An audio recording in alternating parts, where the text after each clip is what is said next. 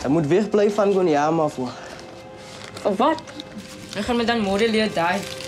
Hy sê ek gaan net so gevaarlik wees soos Daddy gewees het. Daddy's dood omdat hy gepoach het. Dis nie meer 'n kind nie en ek gaan môre.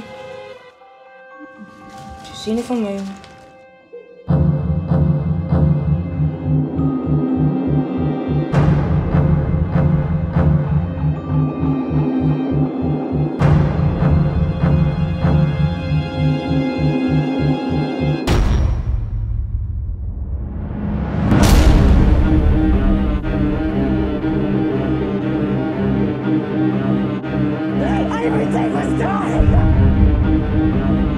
Ouma was reg. Die see vat altyd meer as wat hy gee.